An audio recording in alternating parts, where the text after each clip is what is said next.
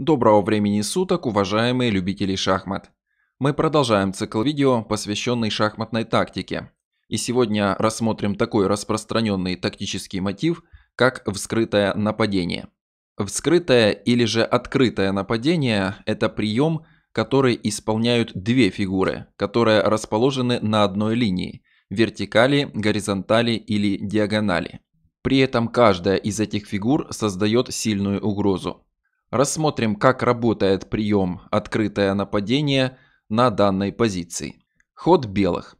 Бросается в глаза диагональное расположение ферзей соперников. Белые забирают ладьей на e6, выполняя вскрытое нападение на ферзя черных. Естественно, после взятия на e6 пешкой либо ладьей, белые просто забирают на c3 и получают решающее материальное преимущество. Если же ферзем забрать на e1, объявляя шах, то белые также забирают ферзя. Ладья e1 шах, король h2. В этой позиции ферзь сильнее двух ладей. У белых уже готова сильная отдаленная проходная пешка h. Пешка f7, вероятнее всего, также погибнет, так как белые сейчас не только создали угрозу ее взятия, но и хотят поставить шах на c3, нападая в то же время и на ладью. Но что же будет после ферзь бьет f6? Ведь брать ферзя нельзя. Последует ладья e1 и у черных лишняя фигура. Здесь белые играют ладья c1. На этом промежуточном шахе держится вся комбинация белых. Одна из белых ладей с темпом покидает вертикаль e, что позволяет белым получить решающее материальное преимущество в четырехладейном окончании. Черные отходят на b8, ладья бьет f6. У белых две лишние пешки и выигранная позиция. Ну а дальше еще 9 очень интересных и красивых примеров, каждый из которых вам предлагается решить самостоятельно. Итак, поехали. Во второй позиции ход черных. Они выигрывают. Обратите внимание, что ориентация доски изменилась для удобства решения. Поставьте видео на паузу и разберитесь в этой позиции самостоятельно. Фигуры белых расположены активно. Угрозы на пунктах h6 и f6 достаточно сильны. Но главным тактическим мотивом этой позиции является противостояние ферзей по шестой горизонтали, хотя пока это не так очевидно. Ошибкой было бы сыграть за черных ладья e2, жертвуя качество с целью добраться таки до уязвимого пункта в позиции белых, поля g2. Но белые здесь могут сыграть ладья g4, решая сразу две задачи – защиты пешки и атаки пункта g7. Угрожает мат в один ход, у белых материальный перевес, ну а в случае взятия ладьи, естественно, вскрывается диагональ и белые ставят мат в один ход. Но игравший черными Владимир Антошин сделал заранее заготовленный ход ладья бьет d3.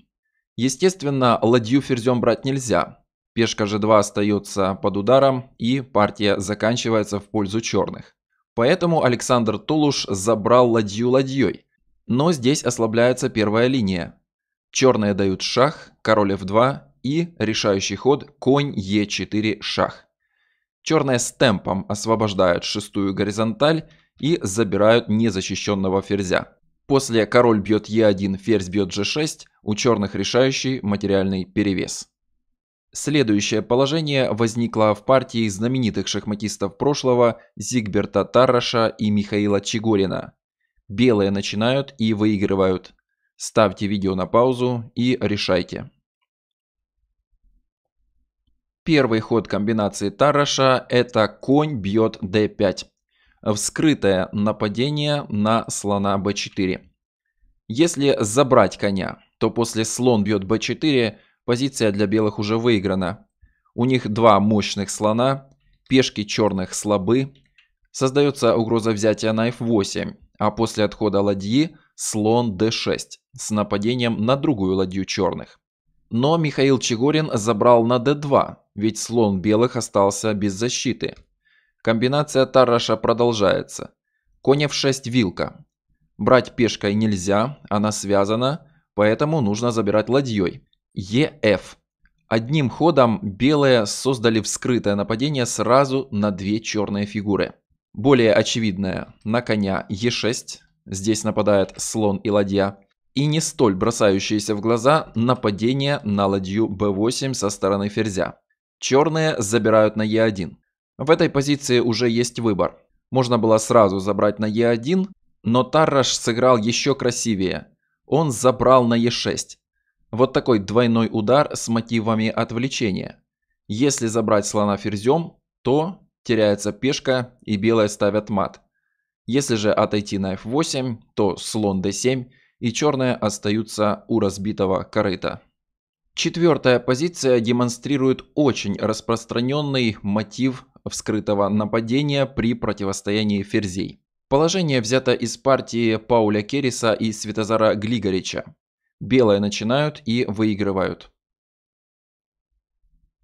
Мотива вскрытого нападения пока что не наблюдается, но Пауль Керрис приходит к нему путем жертвы на g7.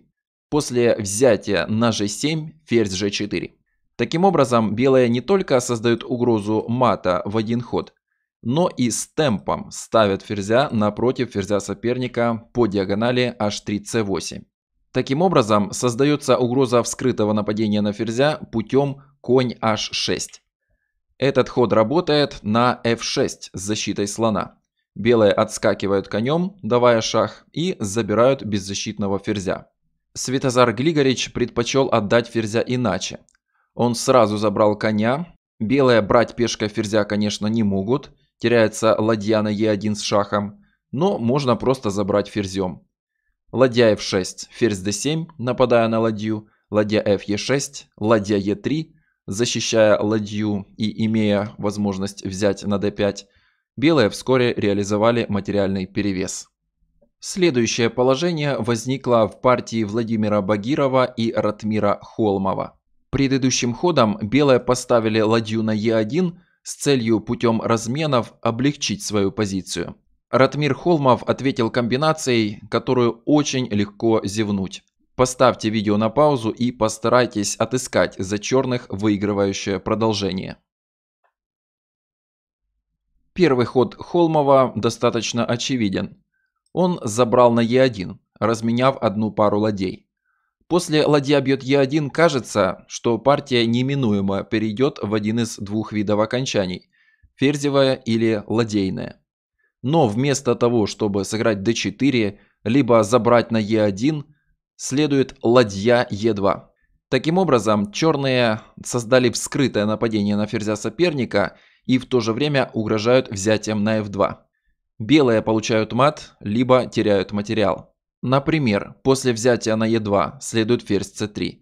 И черный ферзь, конечно же, очень легко справится с белой ладьей. Если пойти ферзь А1, защитив обе свои фигуры, то следует ферзь бьет f2 и мат на g2. Ну и главный вариант. В случае взятия на f6 следует промежуточное взятие на e1 с шахом. И лишь теперь gf. У черных лишняя ладья. Видя эти варианты, Владимир Багиров после ладья Е2 просто сдался. Следующее положение возникло в партии классика наших дней Вишванатана Ананда. Белые начинают и выигрывают. Прежде всего бросается в глаза диагональная связка ладьи Е3 и вертикальное противостояние ферзей. Игравший белыми Ананд пошел слон G6, вскрытое нападение на ферзя и в то же время угроза взятия на f7. У черных довольно печальный выбор. Основной вариант связан со взятием на d1. Тогда следует ладья e6 шах. Пешка f7 связана по диагонали, поэтому брать ладью не может. Перекрытие конь e7 не меняет ситуации. На король f8 следует слон h6 и после отхода на g8 мат слоном. Если пойти конь бьет e3, то последует взятие на f7, король f8 и взятие на d4. После ладья d4 слон e3. Две черные фигуры под боем, угрожает все тот же мат слона 6, позиция черных безнадежна. Если же сыграть ферзь f6, то следует взятие на f7. Ферзь f7 забрали, взяли на e3 и здесь проще всего забрать на d8. После король d8 слон e3. Слон черных ограничен в своих действиях, а после его отхода играем ладья бьет А7. Белые создали угрозу выигрыша ладьи путем ладья А8, слон H3 не играет, у белых выигранная позиция. Поэтому игравший черными Жоэль Лотье сыграл конь Е7, перекрыв седьмую линию. Ананд забрал на d4, ладья бьет d4. В этой позиции у белых уже есть выбор. Можно, например, забрать на e6, напав на коня. После ладья d7 взяли, забрали, защита ладьи слоном, а после ладья f8 обратная ситуация. Ладья защищает слона. И у белых выигранная позиция. Слон черных по-прежнему вне игры. Но в партии Ананд не стал брать на e6. Он просто пошел ладья d3. Если забрать ладью, то слон бьет d3. Угроза ладья b8 с выигрышем ладьи и король бьет g2. Поэтому ладья пошел ладья d8. Но от проигрыша это его не спасло. Взяли, забрали. На шах, конечно, есть конь c8. Но проще отойти на d3. И в этой позиции черные сдались. Финал партии мог быть очень красивым. На отход слона, например, на h1, следует слон b2, нападая на ладью. И после ладья e8 слон f6. Посмотрите на эту красочную позицию. Ни одна из черных фигур не может сделать хода без угрозы потери материала. Черные почти в полном цухцванге. В следующей позиции черные начинают и выигрывают. Положение может казаться достаточно простым, но это далеко не так. Позиция таит в себе немало яда. Поставьте видео на паузу и постарайтесь до конца разобраться в этом положении. Кажется, что главным тактическим мотивом возникшей ситуации является противостояние черной ладьи и белого короля по вертикали Б. Это не совсем так. Одним из важнейших факторов позиции является горизонтальное расположение ферзей, а также возможность подключения к игре белой ладьи h3. С учетом этого неверным является напрашивающийся ход c3. Черные здесь не выигрывают фигуру, по той причине, что белые забирают на c3 с шахом, и брать ладью нельзя ввиду потери ферзя. Взятие на b2 черным здесь особо ничего не дает. Поэтому игравший черными в этой партии немецкий гроссмейстер Вольфганг Ульман сыграл иначе. На третью линию он поставил пешку d. Таким образом, немецкий шахматист создал угрозу мата в два хода. Ферзь c2 и ферзь бьет b2. Пешку d3 брать нужно. Но если забрать ее ладьей, то черные бьют на b2 с шахом. Идея черных состоит не в том, чтобы после король бьет b2 дать шах c3 вскрытое нападение на ферзя. По той причине, что белые на шах отвечают своим шахом, забирая на c3 ладьей, а далее забирают ферзя. Поэтому после король бьет b2, черным нужно с темпом отойти с четвертой линии, играя ферзь b5. Закрыться ладьей белые, конечно, могут, но это все равно приведет к ее потере. После король а2 следует cd, и у черных лишний конь. Поэтому в партии белые на d3 забрали пешкой. И здесь последовала ладья бьет b2. Оказывается, что после король бьет b2 ход c3 уже проходит, потому что третья линия перекрыта белой пешкой d3. Это вскрытое нападение на ферзя белых, и после взятия на c3 следует ферзь бьет g4 с решающим материальным перевесом у черных. Вот такой, казалось бы, простой, но в то же время весьма коварный пример. Надеюсь, что вам удалось разобраться во всех тонкостях этой позиции. В следующем положении ход белых. Они выигрывают. Игравший белыми Энтони Майлз сделал ход А2-А4, нападая на слона. Конечно, отходить слоном плохо, последует взятие на c6 и позиция черных разрушается. Поэтому последовало взятие на а4 и здесь ферзь а3. Таким образом, белые, нападая на слона а4, располагают своего ферзя напротив ферзя соперника. Последовало слон b5 и ладья бьет b5, нападая на ферзя. Конечно, брать ладью плохо ввиду потери сильнейшей фигуры, а после ферзь бьет а3 последовал промежуточный шаг ладья b7. И только теперь белые заберут ферзя. В любом случае у белых остается лишний конь и выигранная позиция. Черные сдались. В предпоследнем положении белые начинают и выигрывают. Ставьте видео на паузу и решайте. Сразу же бросается в глаза диагональное расположение ферзей. Но черный ферзь находится под защитой коня. Поэтому приходит в голову ход конь А4. Нападение сразу же на две черные фигуры. Если отойти слоном, то последует взятие на b6, и это вилка. И после взятия конь h6. Это шах и вскрытое нападение на незащищенного черного ферзя. Такой же мотив мы с вами видели в партии Керес-Глигорич. Но черные решили забрать белого коня. Здесь также можно сыграть конь h6 шах. Но после взятия ферзь d7 hg у черных три легкие фигуры за ферзя. Решающее преимущество белых здесь не очевидно, поэтому лучше избрать другой шаг с поля e7.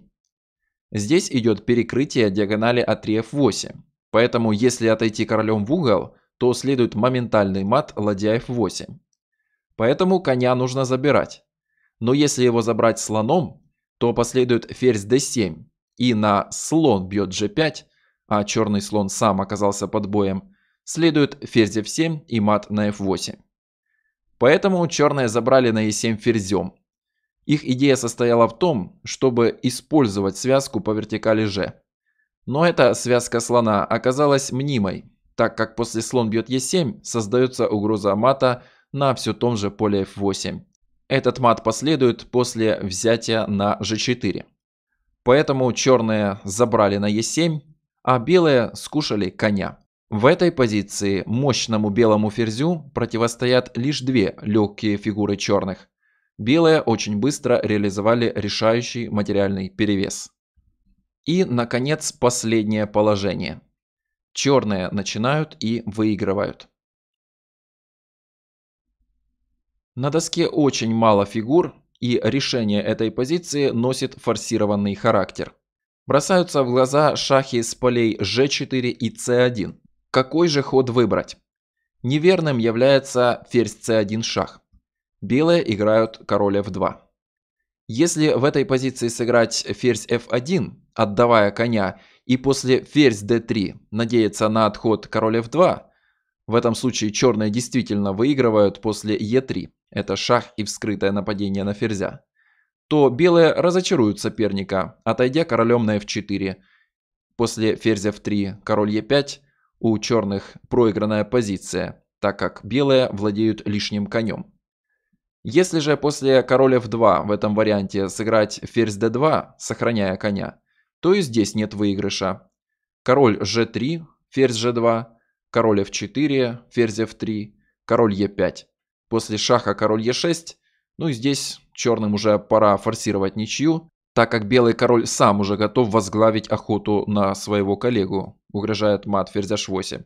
Можно, например, сыграть ферзь b3, король f5.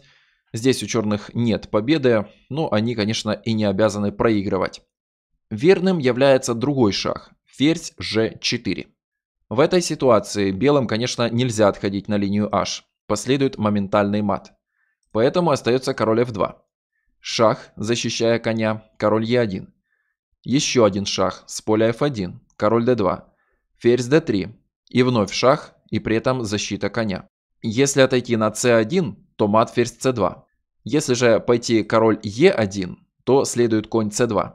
Как вы могли заметить, предыдущим своим ходом черные с темпом расположили своего ферзя напротив ферзя белых. И после единственного хода король f2 играют e3 шах Та же идея, которую мы с вами видели в одном из предыдущих вариантов. Король f3, забираем на h7 и черные выигрывают.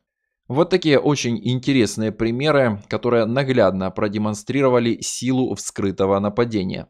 Думаю, что этот урок был для вас полезен и интересен. Если так, то не забывайте ставить лайки, подписывайтесь на канал Шахматы для всех, оставляйте свои комментарии. Обязательно напишите, какой из этих 10 примеров вам понравился больше других. Мне остается только попрощаться. Большое спасибо за внимание. До свидания.